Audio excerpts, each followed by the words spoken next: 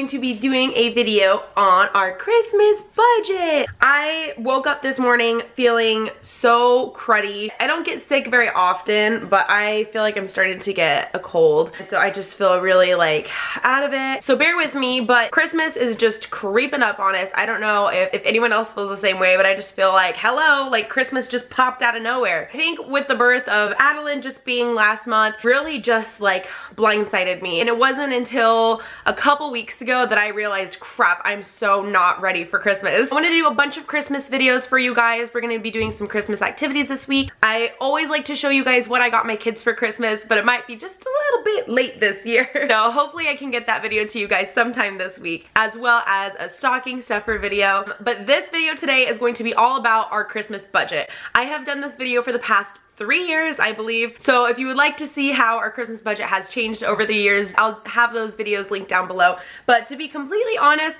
our Christmas budget hasn't really changed a whole lot in the last three years. I started Christmas budgeting, like I said, three years ago when I started making videos about it. Before that, I just had, let's see, how many, I don't even know how many kids I had three years ago. But it wasn't until recently that I felt a need to actually budget myself when Christmas came around. Christmas itself is already super expensive. And then when you add seven kids into the equation, equation, it kind of just is insane. This year, we have stuck to a very, very strict Christmas budget. My ideas with budgeting have kind of stayed the same, but this year we've just been a lot more strict on what we spend and how we spend it. So if you guys are interested on how we budget Christmas for seven children, this is the video for you. So for our Christmas budget, we average at $100 per child. Whether or not that includes presents from the man in the North Pole has kind of changed throughout the years. Last year I included it in the price.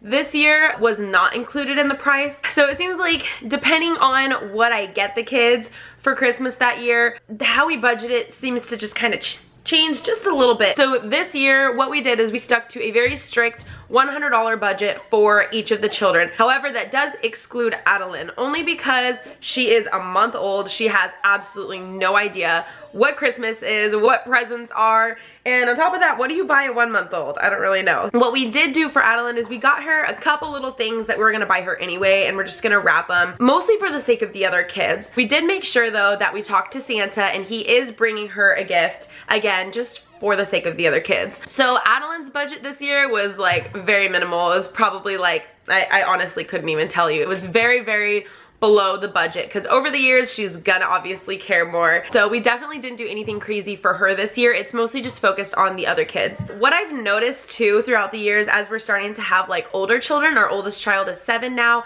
We have a six-year-old, a five-year-old, two four-year-olds, a two-year-old, and a newborn. The older kids' presents are so much more expensive than the little baby presents. It wasn't until this year that we have started really reconsidering quantity over quality. In the past, when the children were younger, it was all about quantity. It was about how many presents I got, how many I get to open, how many does that person have, how many do I have, and I really tried to keep it fair. This year, however, it has been a little bit different in terms of the older kids are starting to get less presents overall because the quality of them are getting better. Our three oldest children definitely got less presents overall than the younger four, or at least the younger three, not really Addelyn. And I'm hoping that that'll kind of teach them a life lesson too throughout the years that quality over quantity is the way to go. So like I said, we do stick to our $100 budget and each child's budget is spent differently according to them and their personality and what we think that they would like. The only kids that I really try to keep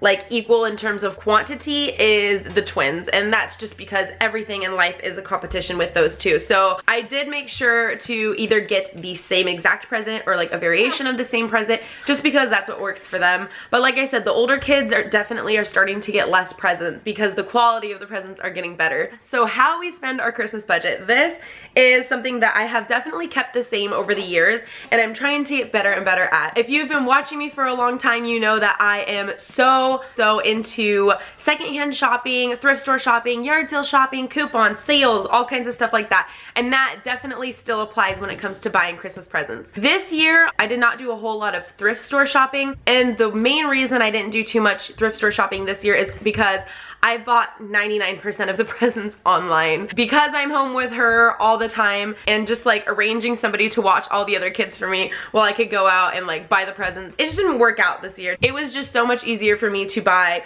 online. We did the majority of our shopping this year with our Amazon Prime account because it has free two-day shipping and if it wasn't bought on Amazon, it's a very good chance it was bought at Target. And at Target, they have an app called Cartwheel. And I'm not sponsored by any of these companies. These are just really like what I use. So there's an app called Cartwheel if you shop at Target. I'm pretty sure most people know about it now. They have daily deals on there as well as like longer deals on there and toys are a very very popular item that you can find on Cartwheel to make sure you get the best deal. So really the secret to my Christmas shopping this year was mainly buying items that are on sale, using Cartwheel when, if I was at Target, and using Amazon Prime to get the majority of our presents. But I've noticed this year, because I've ha I haven't had the greatest luck with Amazon in the past around Christmas time, but this year I've definitely noticed that if there was like an item on sale at Walmart or, or Target, I would check that same item on Amazon and notice that they also had that sale price. So I don't know what Amazon has done recently, but they've definitely been doing a better job, at least that I've noticed with the things that I've been interested in buying. I just have one rule when it comes to buying Christmas presents, or actually anything in general. I almost never, and I can say this with extreme confidence, buy anything at retail price. It has to be on sale, it has to have a coupon, it has to have a cartwheel, or it has to be secondhand. I literally never buy anything at retail price. It is an extremely rare circumstance if I happen to buy something at retail price. So how I keep track of all my Christmas budgeting is um, the same thing that I've kind of done over the years. What I do is I literally just have a notes app on my phone and I just really like the convenience of not having to like have an app or anything or have internet access. I can just pull it up on my phone in my notes. Now they let you you, if you have an iPhone, you can have a shared folder with somebody else. So Chris and I will have a shared folder between each other where we can update our Christmas list accordingly. So let me see if I can show you. I have a list of all of the kids on here and it has the name of the child, what I got them, how much it cost, and then I always talk to Santa too and ask him how much his present costs and make sure I write that down as well. So that is how we keep track of who gets what and how much they are. That way I'm not roaming around the stores thinking, did I buy this for her? I don't know if I bought this for him. How much do I have left in the budget? I just have it all in one place. I can bring it up. I can total it in my head real quick.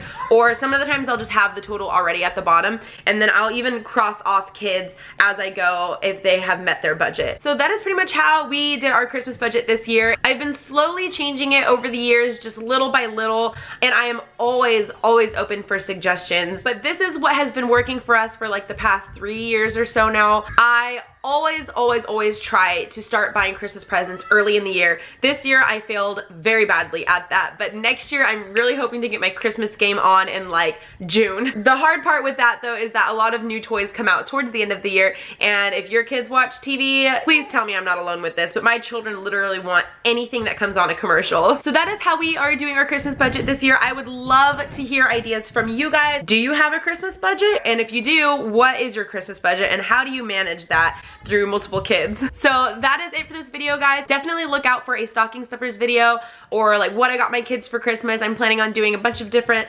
Christmas things. So make sure you leave your video suggestions down below. Make sure you follow me on Facebook, Snapchat, Instagram. I'll have those links down below. And other than that, I will talk to you guys on Wednesday for our next video. Bye! Oh.